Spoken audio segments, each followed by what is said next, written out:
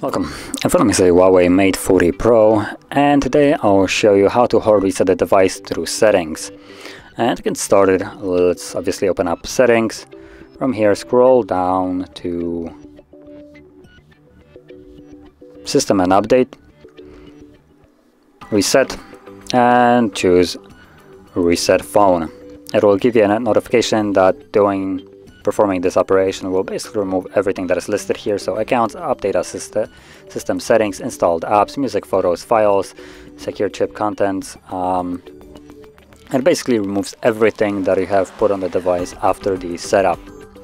So if there's anything that you'd like to keep, like photos as an example, or music, you might want to back it up beforehand, otherwise you'll lose it permanently. But assuming you have already done what you don't want to, tap on reset phone, uh, it also gives you the option to back it up right here if that's something that you want to do. Uh, but at the end of the day, we also have the reset and once you tap on it, it will start performing the operation. And this will take like two minutes or so. Once it's finished, we should be then greeted with the setup screen. And I'll be back once that is visible.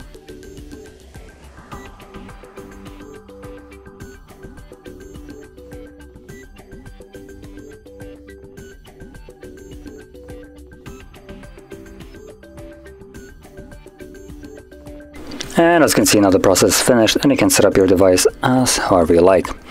So if you found this video helpful, don't forget to hit like, subscribe and thanks for watching.